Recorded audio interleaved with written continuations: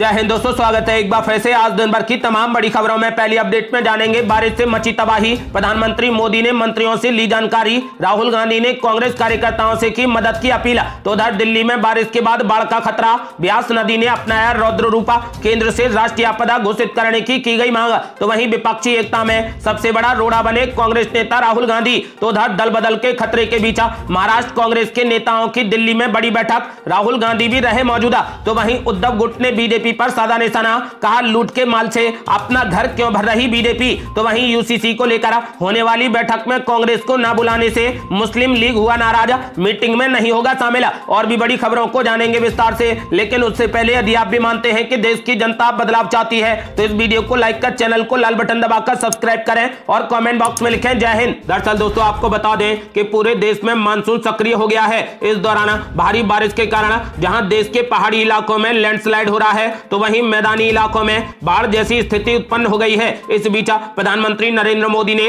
देश के कुछ हिस्सों में अत्यधिक बारिश से बिगड़े हालात का जायजा लिया। उन्होंने इस बारे में वरिष्ठ मंत्रियों, अधिकारियों से बात की है। पीएमओ ने इस बात की जानकारी दी है। उधर केंद्रीय गृह मंत्री अमित शाह भी स्थिति पर नज़र बनाए रखने के लिए दिल्ली और जम्मू कश्मीर के उपराज्यपालों के संपर्क में है। उन्होंने स्थितियों का आकलन करने के लिए पंजाब और हिमाचल प्रदेश के मुख्यमंत्रियों से भी संपर्क किया है। इस बीच कांग्रेस नेता राहुल गांधी ने भी उत्तराखंड, हिमाचल प्रदेश और अन्य राज्यों में भारी बारिश, भूस्खलन के कारण जान माल के नुकसान पर दुख जताया है। उन्होंने कहा कि वे लोगों की मौत से काफ़ी दुखी हैं। उन्होंने जान गंवाने वाले लोगों के परिवारों के प्रति संवेदना व्यक्त की और घायलों के शीघ्र स्वस्थ होने की आशा की। इस दौरान राहुल गांधी ने कांग्रेस कार्यकर्ताओं से प्रभावित इलाकों में राहत कार्य और लोगों की मदद करने की अपील की है।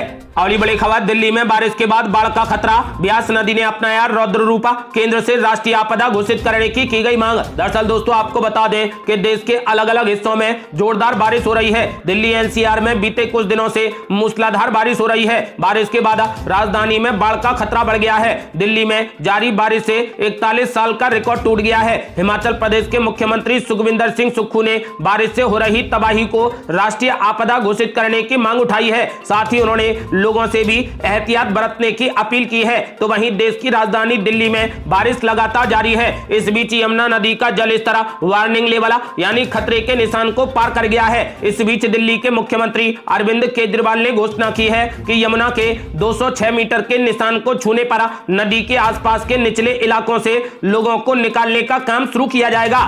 अगली बड़ी खबर। यूपी में भी भारी बारिश के चलते चौंतीस लोगों की मौत। प्रियंका गांधी ने भी कांग्रेस कार्यकर्ताओं से की बड़ी अपील। दरअसल दोस्तों, आपको बता दें कि यूपी में कुदरत ने कहर बरपा रखा है। यहाँ भारी बारिश से अब तक चौंतीस लोगों की मौत हो गई। आकाशीय बिजली गिरने से सत्रह लोगों की जान चली गई। तो वहीं पानी में डूबने से बारह और अतिवृष्टि से पाँच लोगों की मौत हो गई। उधर कांग्रेस महासचिव प्रियंका गांधी ने बारिश से लोगों की मौत पर ट्वीट कर कहा कि हिमाचल प्रदेश में भारी बारिश और भूस्खलन के चलते कई लोगों की मृत्यु की दुखद खबर मिली है। सभी शोक संतप्त परिवारों के प्रति मेरी गहरी संवेदनाएँ हैं। आपदा की इस मुश्किल घड़ी में हम सब एकजुट हैं। मैं सभी बहन भाइयों के सकुशल और सुरक्षित होने के लिए ईश्वर से प्रार्थना करती हूँ। कांग्रेस पार्टी के सभी कार्यकर्ताओं और नेताओं से मैं अपील करती हूँ कि आपदाग्रस्त जगहों पर लोगों की हर संभव मदद करें और राहत बचाव कार्यों में सहयोग करें। अगली बड़ी खबर, गृह मंत्री अमित शाह ने पंजाब और हिमाचल के मुख्यमंत्रियों से बारिश से नुकसान का लिया अपडेट।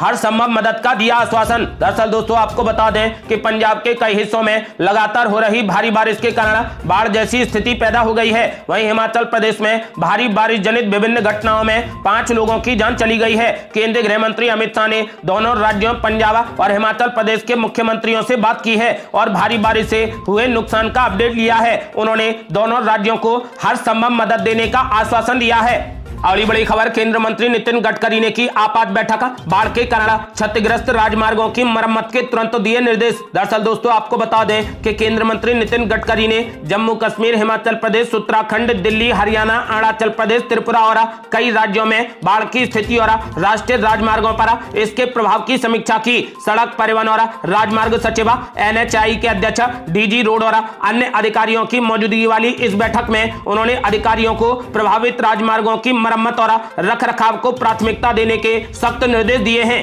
ये बड़ी खबर 2024 में बीजेपी को हराने के लिए विपक्षी एकता में सबसे बड़ा रोड़ा बन रहे कांग्रेस नेता राहुल गांधी। दरअसल दोस्तों, आपको बता दें कि भाजपा और केंद्र की नरेंद्र मोदी सरकार का विरोध करने वाली पंद्रह विपक्षी पार्टियों को पटना में इकट्ठा हुए मुश्किल से एक सप्ताह ही हुआ था कि इनमें से शरद पवार के नेतृत्व वाली राष्ट्रवादी कांग्रेस पार्टी, यानी एनसीपी, दो जुलाई को टूट गई। शरद पवार के भतीजे अजीत पवार ने संकट मोचक माने जाने वाले प्रफुल्ल पटेल और पूर्व मंत्री छगन भुजबल जैसे दिग्गजों के साथ मिलकर बीजेपी बीजेपी से हाथ मिला लिया। अजीत पवार, छगन भुजबल और एनसीपी के सात अन्य नेता महाराष्ट्र सरकार में मंत्री भी बन गए। अजीत पवार के समर्थक इस बात से काफ़ी नाराज़ थे कि शरद पवार और उनकी बेटी सुप्रिया सुले तेईस जून को विपक्षी नेताओं की बैठक में भाग लेने के लिए पटना गए थे। यहाँ पर कांग्रेस नेता राहुल गांधी भी मौजूद थे। अजीत पवार और अजीत पवार के समर्थक राहुल गांधी को विपक्ष का चेहरा और 2024 के आम चुनावों में प्रधानमंत्री पद का संभावित उम्मीदवार बनाए जाने के पक्ष में नहीं है। सिर्फ़ अजीत पवार ही नहीं, कम से कम।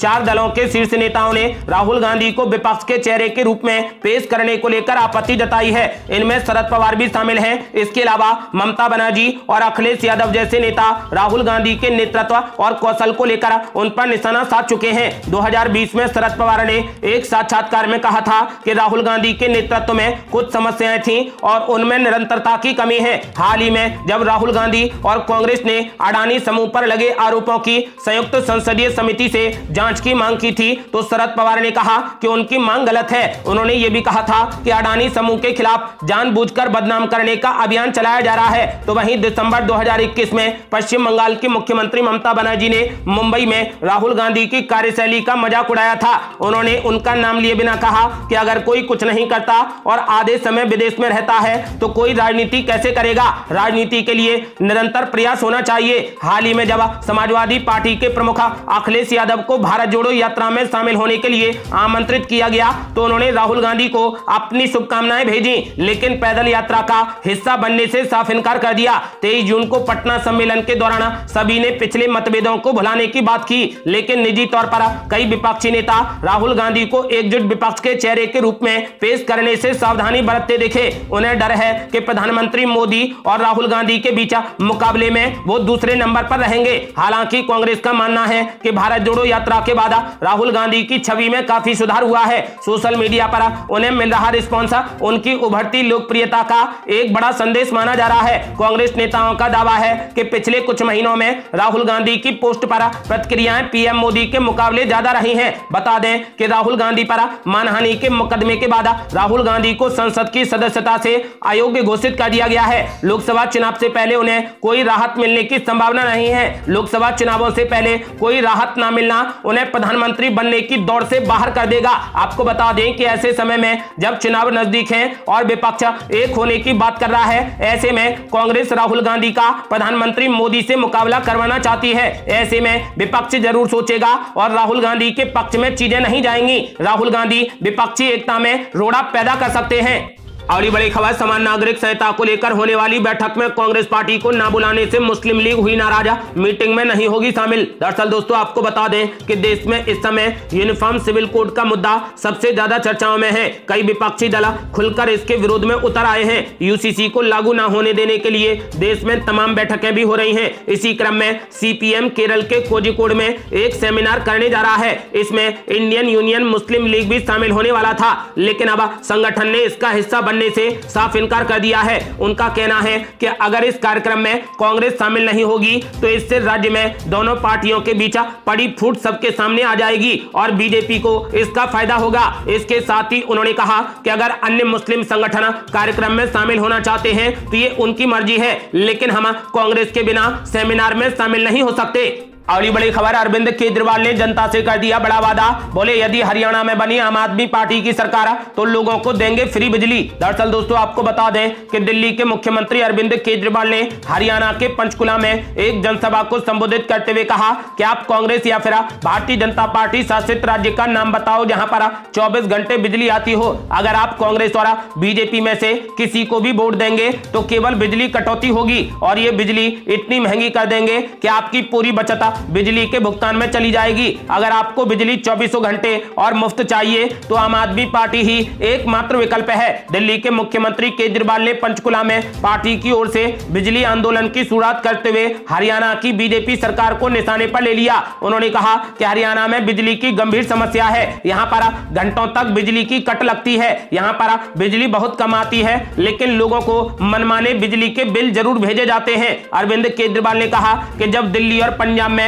लोगों को चौबीसों घंटे मुफ़्त बिजली मिल रही है। तो हरियाणा के लोगों को इससे वंचित क्यों रखा जा रहा है? इसका जवाब देते हुए उन्होंने कहा कि हरियाणा सरकार की नीयत ठीक नहीं है। मुख्यमंत्री केजरीवाल ने हरियाणा के लोगों से कहा कि मैं खुद इसी प्रदेश का रहने वाला हूँ। अगर विधानसभा चुनाव में आपने आम आदमी पार्टी सरकार बनाई तो हम आपको न केवल चौबीसों घंटे बिजली फ्री देंगे, बल्कि मुफ़्त में ये सुविधा दिल्ली और पंजाब की तरह यहाँ के लोगों को भी मुहैया कराएँगे। और ये बड़ी खबर उद्धव गुट ने बीजेपी पर बोला, ज़बरदस्त हमला। कहा, लूट के माल से अपना घर क्यों भर रही बीजेपी दरअसल दोस्तों, आपको बता दें कि उद्धव गुट ने सामना में लिखा कि कांग्रेस मतलब लूट की दुकान और झूठ का बाज़ार। ऐसा जोरदार हमला प्रधानमंत्री मोदी ने राजस्थान में कार्यक्रम में बोलते हुए किया था। उद्धव गुट ने कहा कि उनका ऐसा बोलना आम बात है। प्रधानमंत्री को सही मायने में अपनी पार्टी के बारे में बोलना था, लेकिन भूल से उनके मुँह से कांग्रेस का नाम आ गया। कांग्रेस अथवा अन्य राजनीतिक दल लूट की दुकान परेशान होंगे तो भाजपा लूट का माल खरीद कर। अपना घर क्यों भर रही है? आपको बता दें कि उद्धव गुट ने कहा कि इसका खुलासा प्रधानमंत्री को करना चाहिए। मूलतः भाजपा ही अब राष्ट्रीय चोर बाज़ार हो गई है। चोरी का, लूट का माल खरीदने वाली पार्टी के तौर पर अब भाजपा बदनाम हो गई है। अड़ी बड़ी खबर, चुनाव चिन्ह को लेकर फिर से सुप्रीम कोर्ट पहुँचे उद्धव ठाकरे। 31 जुलाई को होगी सुनवाई। दरअसल दोस्तों, आपको बता दें कि शिवसेना पार्टी और उसका चुनाव चिन्ह एकनाथ सिंधे को दिए जाने के खिलाफ उद्धव ठाकरे एक बार फिर सुप्रीम कोर्ट पहुँचे हैं। उद्धव ठाकरे ने अपनी याचिका में चुनाव आयोग का फैसला रद्द करने की मांग की है। उद्धव का कहना है कि विधायक दल में हुई टूट को पार्टी की टूट कहना गलत है। चीफ जस्टिस ने कहा कि सुप्रीम कोर्ट इकतीस जुलाई को इस मामले में फिर से सुनवाई करेगा। ये थी अब तक की बेहद बड़ी खबरें। रोज़ाना की ताज़ा खबरों को जानने और हमसे जुड़ने के लिए चैनल को लाल बटन दबाकर सब्सक्राइब करें और घंटी बटन भी दबा दें। जल्दी मिलते हैं बड़ी अपडेट के साथ। तब तक के लिए जय हिंद, जय भारत।